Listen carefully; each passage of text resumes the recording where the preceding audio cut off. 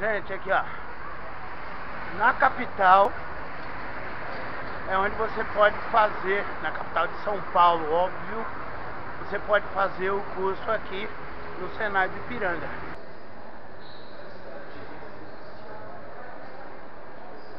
Aqui estamos nós no Senai de Ipiranga, Senai sobre couro, trabalhos com couro, sejam bolsas, sejam calçados, tem o pessoal também envolvido com joias, etc. E vamos participar da palestra hoje. Temos aqui bolsas confeccionadas aqui.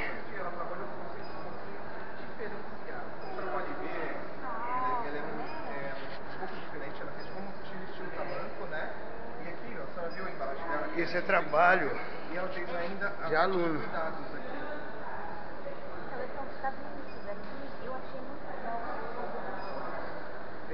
Nós temos máquinas. Essa máquina aqui, você sabe o que, que é? Pois é, essa daqui ela é uma máquina de excandir. É uma máquina de fazer chanfro, certo?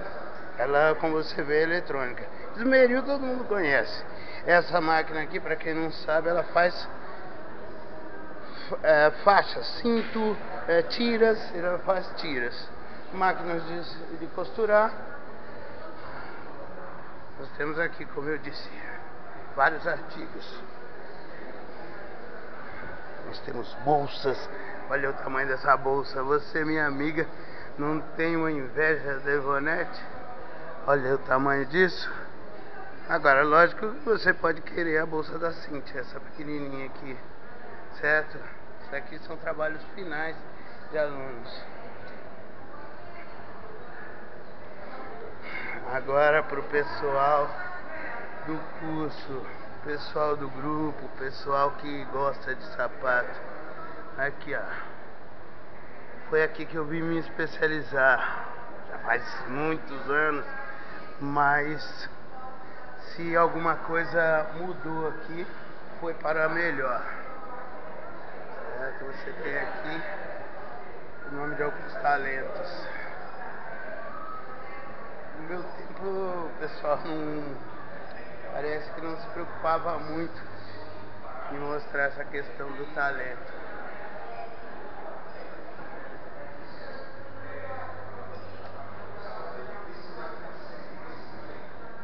Ah, ah. Certo.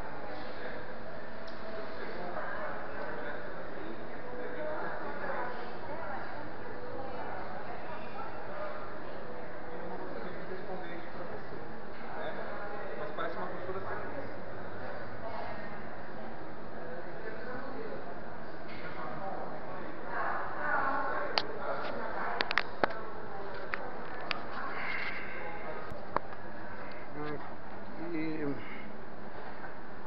você já fez bordado à mão? E que tal fazer isso daqui?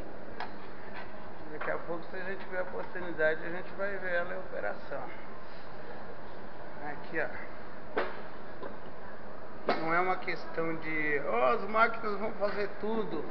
É necessário ser humano. Sem o ser humano para criar o, o programa que vai fazer funcionar, sem o ser humano para criar a máquina, para operar a máquina, nós não temos ações. Certo? O ser humano, assim como o, professor, vai continuar sendo necessário, mesmo quando os computadores dominarem o mundo. Gente, pega. Aqui o que eu posso dizer pra vocês são pés calcadores.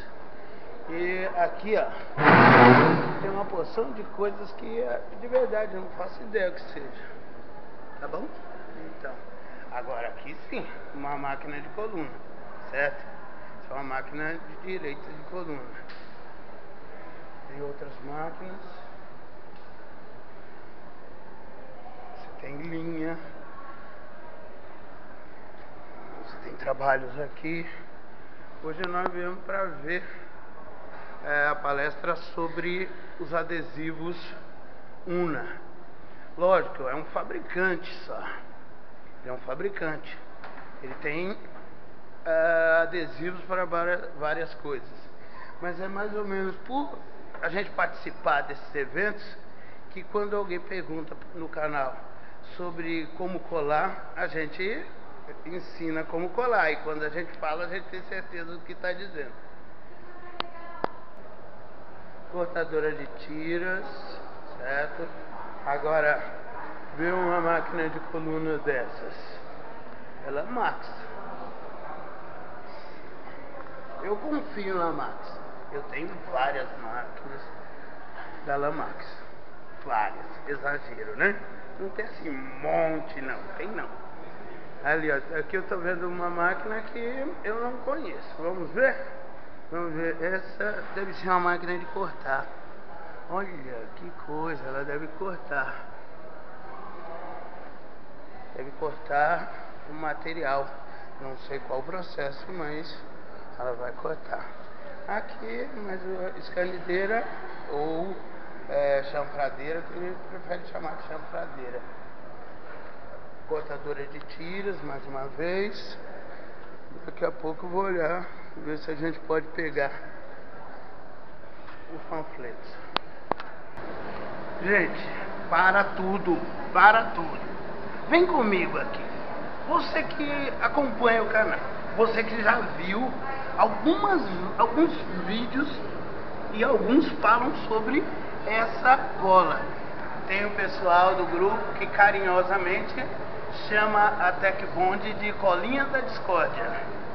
Gente, gente, por favor, aqui você está no Senai. Se o Senai não for um órgão de respeito, o que mais vai ter respeito no Brasil? Me desculpe se eu sou forçoso mas se no Senai eles dão aval para Tec Bond, por que que você vai continuar insistindo em dizer que isso não presta? Eu, né? Parei, tá? Sangobem, Sangobem não é uma empresa nacional. Sangobem tem nome.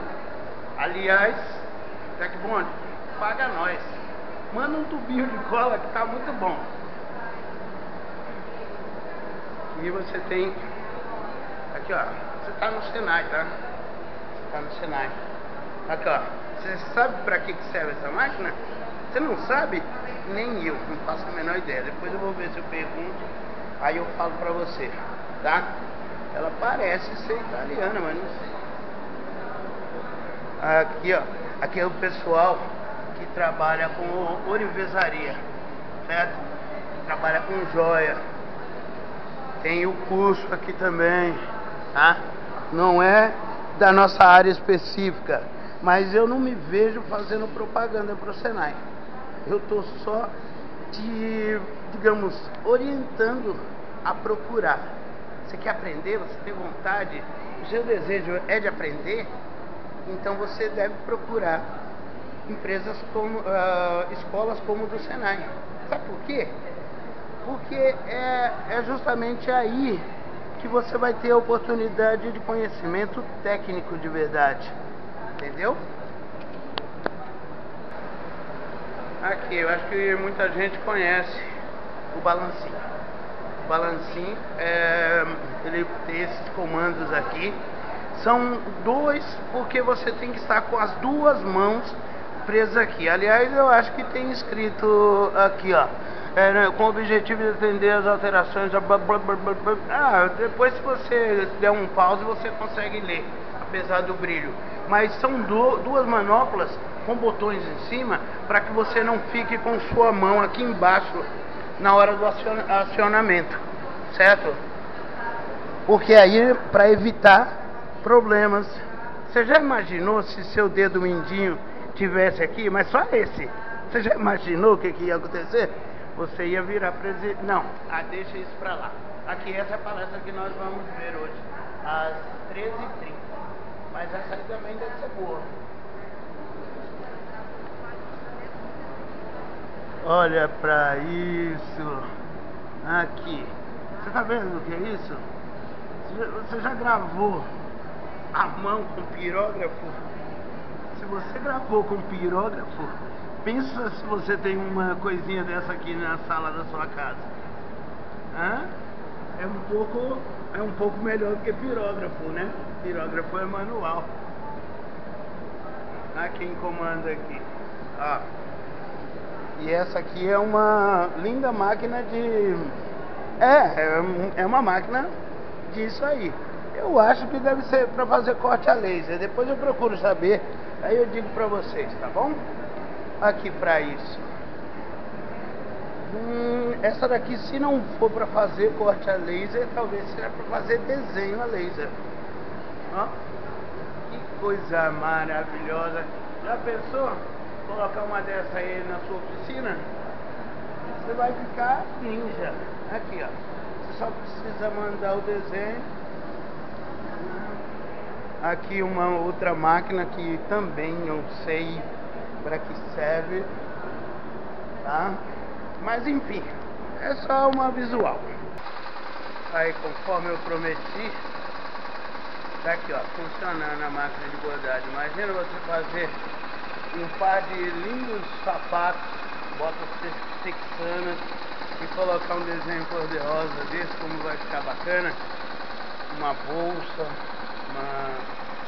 Vamos procurar saber qual é o seu investimento. Quanto custaria em média uma máquina dessas? Nós vamos saber agora quanto é que custa. 39.905. Você que pensou que era caro, você se enganou. Só 39.900. Dinheiro que você gasta numa semana, não é verdade? Olha lá. Muito bacana. Isso aqui é o processo de para aluno que eles fazem. Eles começam aqui, que eu chamo de começo, começo errado. Aí na hora em que ele faz isso, esse, esse sapato, por exemplo, aí, ele, é bonito? Não é. Mas ele fez a peça piloto para depois mandar fazer a madeira igualzinho, direitinho, para sair ele pronto que nem a menina está lá embaixo. E esse é o nosso hum, ensinamento aqui. Tá, tá. Que nem ali, você viu? Ali é o início também, tá vendo? De um modelo. O que, que faz com esse modelo? Você pode pôr ele colorido, verde, amarelo, azul e branco. Aqui, põe a plataforma, põe o salto alto e você muda o modelo. Então aqui é o ensinamento. E aqui, ó, eu, eu tô bolando isso aqui. Já é mais uma invenção sua. Pra montar, ó. A máquina de zigue-zague tá ali. Você vem aqui. Vê se fica difícil montar. Que máximo. Brincadeira, hein? Depois aqui. Eu bolei numa tabuinha pequena. Você tem que. Vou fazer melhor, né? Aí. Aí você vem aqui. De novo. Pra montar o traseiro, ó. Olha que borboleta. Tá aqui. Dá, dá aquele nozinho que você sabe dar, né? É, pelo menos o professor me ensinou. Acho que ainda sei. Gente, você que acompanha o canal, daqui dá para você entender de onde eu tiro a criatividade para inventar coisas, soluções. Esse meu grande professor que muito me ensinou, ele é o mestre Lino, a pessoa que ele já faz sapatos há mais tempo do que eu tenho de idade. E ele não cansou de aprender. É, mas eu acho que é, é isso aí que você falou é verdade mesmo. Você tem quantos anos? Eu tô com 54. Eu tô 63 no ramo. Então, você ouvindo isso, reflete um pouco, pensa um pouquinho naquela hora que você reclama de, oh. de uma cola, reclama de uma ferramenta. Tá montado. Certo? Você vê processos que podem ser melhorados a, a cada momento. Quem é que melhora? É você. É você com a sua capacidade racional, inteligente. Olha que coisa discreta. Isso daqui devia ser uniforme de sapateiro. Que tão bacana.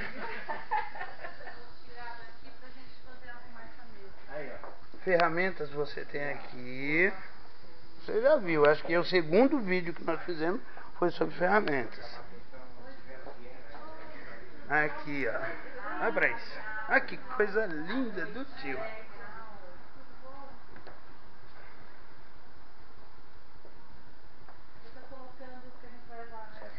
Aqui eu já falei algumas vezes pra você, essa é a sorveteira. Essa é a sorveteira. O sapato é colocado aqui dentro com a forma aqui dentro. Essa borracha, ela comprime o sapato. Você não precisa fazer aquele processo daquelas borrachas que teve gente que falou que aquilo não dá certo. Não dá certo se a gente não tentar. Aqui, uma, essa é uma prensa. É, nós tínhamos ela praticamente. Olha que beleza! Isso é uma prensa. Pra bota, ó. Botar o cano pra ele. Você entendeu? Você coloca a bota aqui.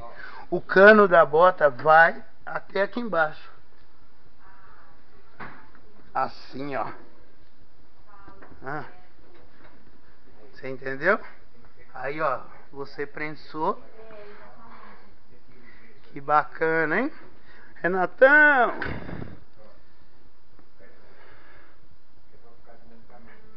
Hã? Aqui é a churrasqueira, né, Eli? Então, é. Certo. Aqui, para você reativar a PVC a quente, tá certo? Ó, você entendeu o processo? Aqui, ó, a esteirinha passou lá dentro, aquece. Isso daqui é um equipamento desse, não deve custar muito caro não, gente. Isso aí, qualquer 100 mil você compra uma máquina dessa. 100 mil você não gasta por semana? Eu costumo gastar. Olha pra isso. Tá vendo? É, nós temos um canal que, aliás, dessa vez, você que está assistindo, se você veio até aqui, você percebeu. Nós não vamos correr dessa vez, não. Tá?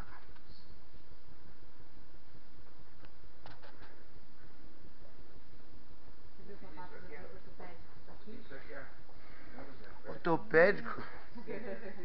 Ortopédico, você viu? Eu conheço um camarada que não só sapato ortopédico, sabe o que, que ele. Sapato para diabético. Hum, Eu me lembro da sua ideia. Eu me lembro. Mas aí eu não vou gravar não. Aí. Seis anos, que ele não veio me, me entrevistar. Aí. Sapato ortopédico.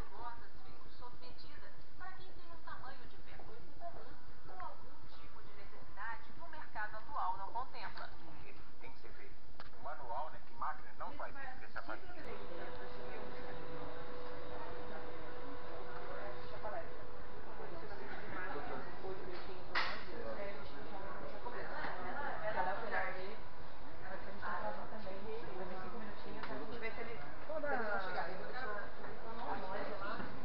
Você conhece essa marca? Você conhece de verdade? Sério?